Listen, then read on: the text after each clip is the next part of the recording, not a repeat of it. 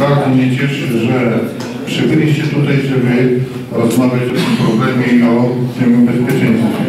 Ja chcę tylko powiedzieć, że na temat tego bezpieczeństwa zabierałem go, głos na dziewięciu sesjach, na dziewięciu sesjach i mówiłem, że e, centrum Janowa, centrum Janowa po prostu jest miejscem niebezpiecznym, ponieważ e, pojazdów jest coraz więcej, coraz więcej, szerokość pozostaje, pozostaje ta sama i należałoby z tym bezpieczeństwem coś poradzić. Powstało wiele dyskusji, wiele, wiele powiedzmy y, propozycji, rozwiązań, że y, powiedzmy arka przed y, kościołem została sprzedana, pieniędzmi się ktoś tam podzielił i tak dalej, i tak dalej. Czyli, czyli jak ta sprawa, sprawa wygląda. A więc y, wrócę do ostatniej sesji. Na ostatniej sesji radni podjęli taką, y, takie działanie, żeby przygotować, przygotować dokumentację, przygotować warianty parkowe tego miejsca, a wtedy będziemy się nad tym wszystkim zastanawiali. I oczywiście, oczywiście takie, za, takie działania zostały podjęte, została sporządzona mapa, sporządzona mapa i w tej chwili ta mapa została skierowana do dróg wojewódzkich. Są przygotowywane warianty parkowania. Jakie, jakie tam będzie można zrobić. Poza tym rzecz najważniejsza, jeżeli najważniejsza, że pieniądze, pieniądze na ten cel pochodziłyby z dróg wojewódzkich, czy nie byłoby potrzeby wydawania pieniędzy z budżetu, z budżetu gminy Janów. Dlaczego szukamy tych oszczędności? Ponieważ w ubiegłym roku, w ubiegłym roku do oświaty, do oświaty dołożyliśmy już około 120 kilku tysięcy. W tym roku, w tym roku musimy dołożyć następne 145 tysięcy, co nie? Czyli okazuje się, że e, algorytm, algorytm uwzględnia ilość dzieci, że dzieci jest mniej, algorytm jest mniejszy, natomiast utrzymanie, utrzymanie tych szkół rośnie i tego algorytm nie uwzględnia. Czyli gdzieś te pieniądze trzeba znaleźć i do tej oświaty trzeba te pieniądze powiedzmy y, dołożyć. Dołożyć, żeby ta oświata mogła funkcjonować. Dlatego jeżeli powiedzmy szukamy możliwości tu na terenie gminy, żeby coś zrobić, to szukamy też pieniędzy z zewnątrz. Na terenie gminy jest prowadzonych 11 inwestycji. Część inwestycji mamy zakończonych, część jest na przykład w trakcie i wszystkie te pieniądze pochodzą z funduszy europejskich. Dokładamy tylko powiedzmy pieniądze powiedzmy gminy na uruchomienie tego. Czyli nie ma takich inwestycji, które by pieniądze pochodziły w całości, w całości urzędu gminy, ponieważ urzędu gminy na, ten, na całą sprawę powiedzmy nie stać. Niestety. Na temat bezpieczeństwa to dyskutowaliśmy już niejednokrotnie, dlaczego takie wyzwanie podjąłem. A więc po pierwsze zgłosił się do mnie, nie wiem, tam 8 czy 10 rolników, że oni zapłacili mandaty, bo zaparkowali tutaj, gdzie jest e, miejsce dla PKS-u. No, ja powiedzmy spokojnie mówię, zaraz się dowiemy o co tutaj wychodziło w tym wszystkim. Okazuje się, że tam w tym miejscu nie można parkować, jest to miejsce dla autobusu, trzeba szukać jakiegoś innego miejsca do tego parkowania.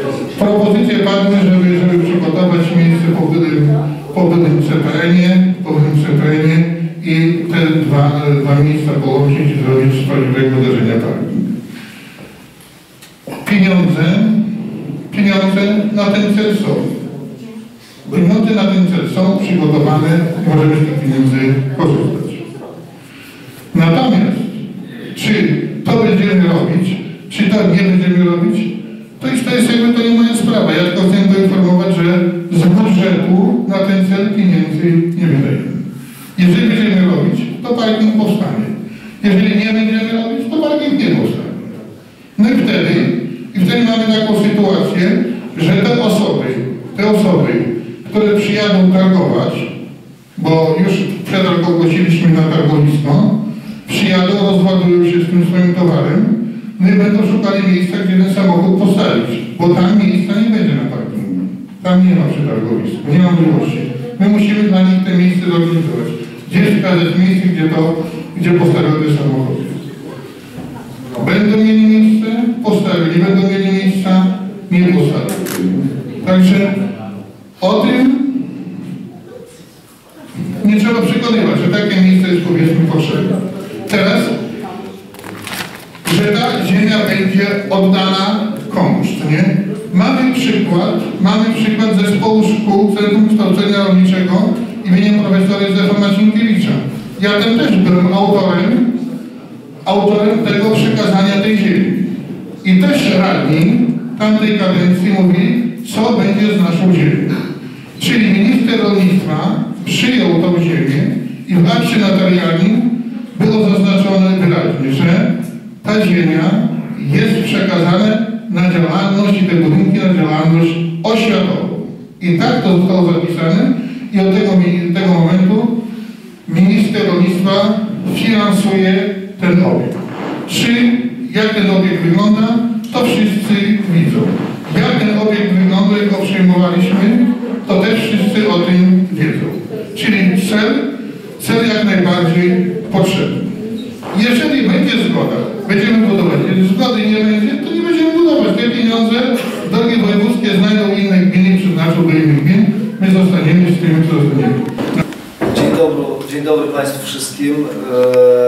E, Ja zostałem poproszony tutaj przez e, Pana Wójta, żeby przyjechać i wypowiedzieć się na temat e, sytuacji miejsca w centrum Janowa. Jakby zaopiniować powstanie mm, parkingu dla e, który będzie użytkowany przez wszystkich, którzy mają potrzebę zatrzymania się tutaj w okolicy parku i w samym centrum naszej miejscowości. Generalnie, w- gdybyśmy mówili o takim formalnym opiniowaniu, to miejsce to e, opiniować powinna Komenda Wojewódzka, dlatego że jest to droga wojewódzka, a drogi krajowe i drogi wojewódzkie e, przy formalnych potrzebach e, opiniuje Wydział Ruchu Drogowego Komendy Wojewódzkiej Policji w Białymstoku. My natomiast z tego tytułu, że pracujemy na tym terenie, czyli my policjanci z Sokółki, z Janowa zresztą też, mamy swoje, e, swoją opinię na temat tego miejsca, mamy swoją wiedzę na temat tego miejsca.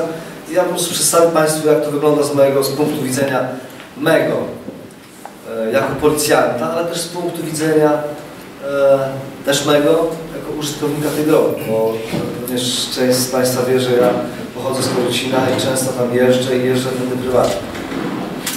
Więc jeżeli chodzi o, o kwestię samego bezpieczeństwa, miejsce to nie jest niebezpieczne w tym sensie, że jest masę wypadków, masę kolizji itd., itd., itd. Nie ma takich zdarzeń dużo, tym bardziej od momentu, kiedy powstało rondo, bo nie ma szybkiego przelotu tutaj e, przez centrum Janowa. Bo nie da się szybko pojechać, dlatego że rondo spowalnia, szczególnie tych, którzy jadą od strony Sokółki.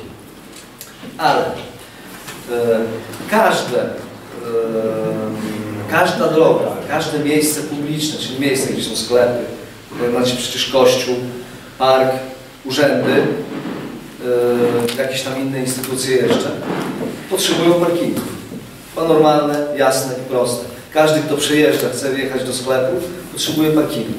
Jak taki parking będzie, to będzie e, generalnie dużo bardziej bezpieczny. Każdy z Państwa doskonale wie, kto mieszka w Janowie. Ja to też doskonale wiem, bo jeżdżę tędy prywatnym samochodem, służbowo rzadko, ale prywatnym samochodem często. E, z czym jest kłopot? Tu, w tym miejscu w Janowie, od lat, od wielu lat, z parkowaniem. Z parkowaniem. Samochody, które stoją, e, przyjeżdżają rano, czy też i po południu, i w dzień, różnie, w różnych porach jest różnie. I zatrzymują się na pasie drogowym e, od Korycina w kierunku Sokółki, nie powinny tam stać. Nie powinny tam stać. One powodują zagrożenie ewidentne w ruchu drogowym dla każdego kierującego, jadącego od Korycińskiej e, do centrum Janowa. To tylko dlatego, że policjanci, którzy tu pracują, jakby rozumieją sytuację Was wszystkich, restrykcyjnie nie, em, nie egzekwują prawa ruchu drogowego. Restrykcyjnie nie e, weryfikują tej sytuacji, która się tutaj e, dzieje. Ja często, jadąc, teraz mówię jako użytkownik drogi i taki sam mieszkaniec czasowy może, Korycina jak wy i przejeżdżam z Sokółki tam do siebie na wieś. Mam kłopot z tym, że jak chcę zrobić zakupy tutaj w waszym sklepie, bo po drodze tak robię, nie? Y, Nie zajeżdżam do sklepu w Korycinie, jeszcze jak żywy ojciec, to jeździłem y, częściej, teraz troszkę rzadziej, rzadziej. Y, Zajeżdżam do waszego sklepu i wiecie, z czym mam kłopot? Z zaparkowaniem. Bo niestety, ale na e, w zatoce autobusowej zrobić tego nie powinienem. Bo nie można tego robić. I muszę, musiałbym jeździć i szukać nie wiem gdzie, żeby pójść do sklepu, który jest tu przy głównej arterii drogi. Rzecz jakby dla mnie jasna i oczywista. Dla Was ona też powinna być.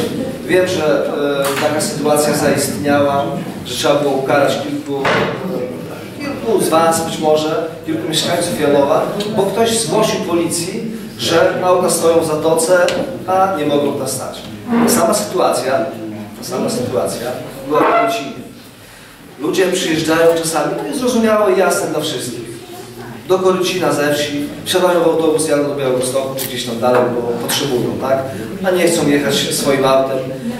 I były takie momenty, że auta zostawiali w zatoce autobusowej. Jakiegoś czasu nie zostawiają, bo zdarzyły się osoby, które to przeszkodziło. Czy użytkownicy tego parkingu, czyli kierowcy autobusów, czy też władze. Ja nie rozstrzygam, nie wiem. Od jakiegoś czasu, jak tam jeżdżę, widzę, że tych autobusów tam nie ma. Po prostu niestety, ale policjanci są sytuacje, kiedy muszą te przepisy i obowiązki kierowców egzekwować. Ja to powiem... Dzisiaj panu. Ja to powiem do Was krótko i myślę i wiążąco. Yy, pracuję 9 lat na stanowisku dyrektora. Trochę tych płatników wykonałem. Powiem Wam z ręką na sercu, nie spotkałem się jeszcze do tej pory, pierwszy raz w mojej karierze, że ktoś nie chce, żeby coś filmu za darmo zrobić na jego podwórku. To jest raz.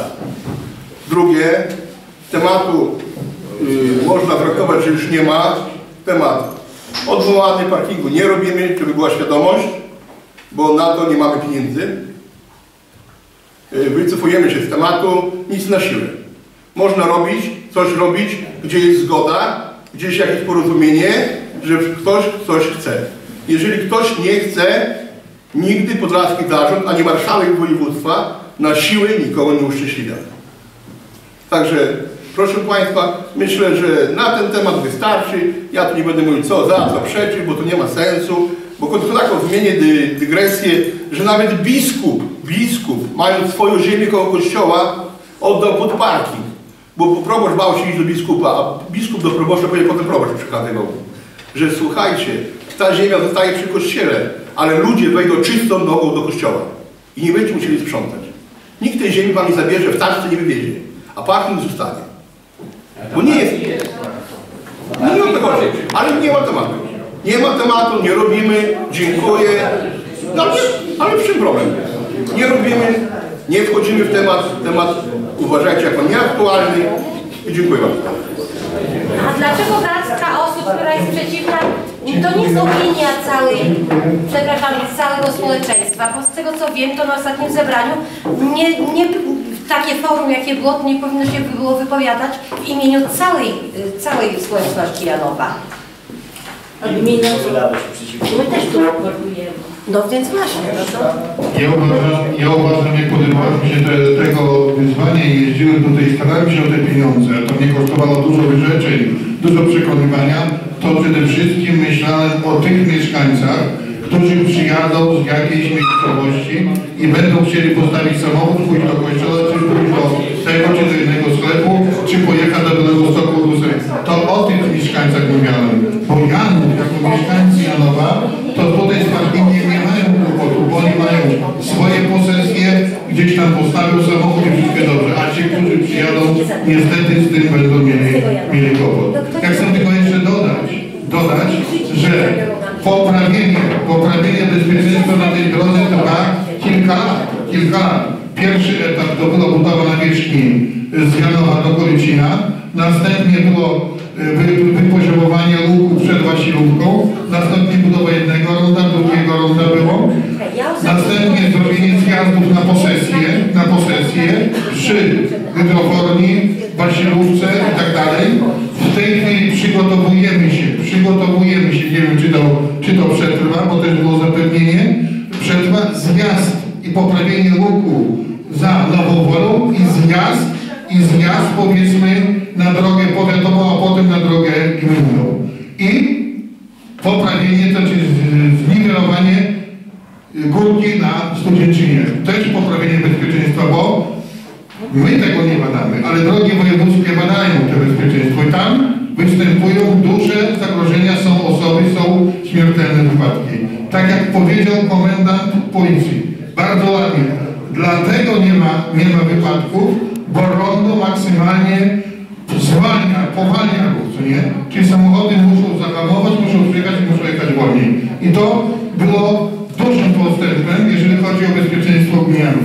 Były różnie na temat ronda, ale jeden z mieszkańców mi powiedział w ten sposób. Jak to się stało, że z rezurekcji tak wszyscy szybko się rozjechali nic się nie stało?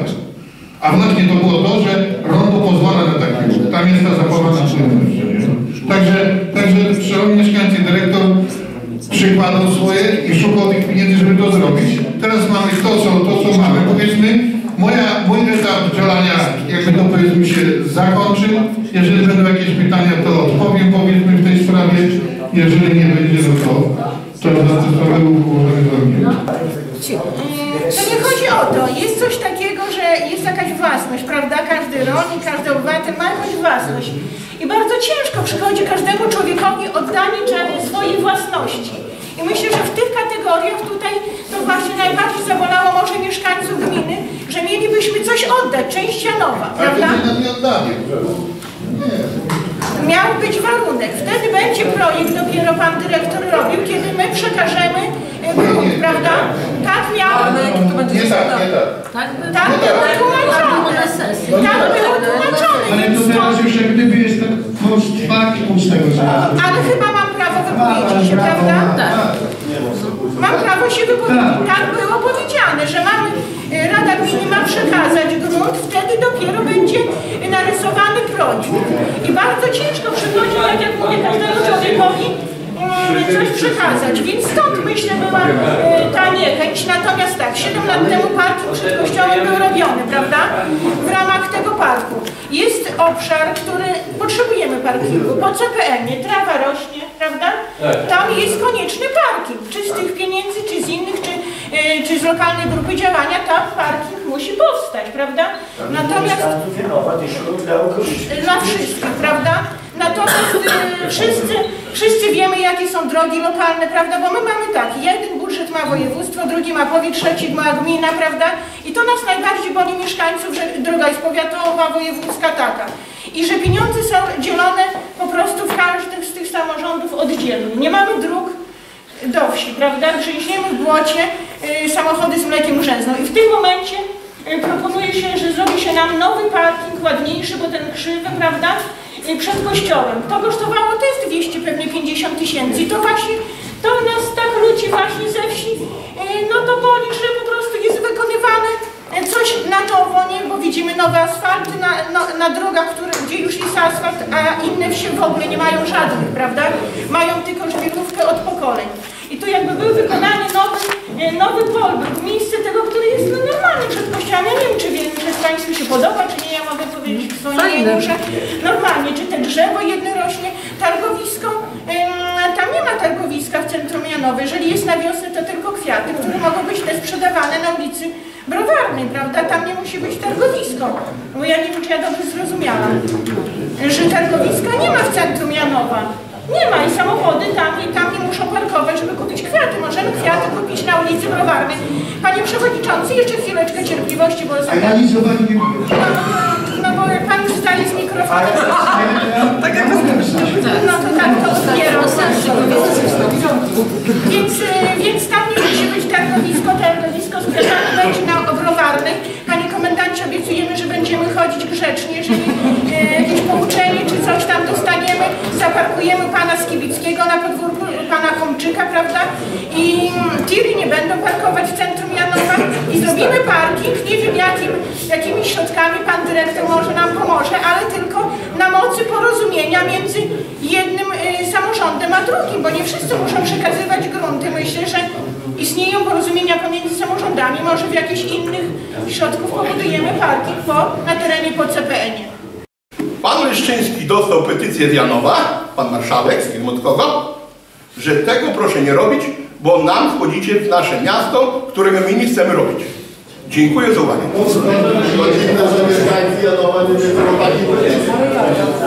Sorry.